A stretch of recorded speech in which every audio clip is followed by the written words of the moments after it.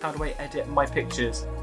Client work aside, most of my photos use a similar editing style to achieve a consistent look across my portfolio of work, especially on Instagram. That's just because I enjoy it. Um, I try and keep my client work aside, or if I put my client work on Instagram, I will edit that client work again to fit on the grid, just because I like to keep it consistent and clean.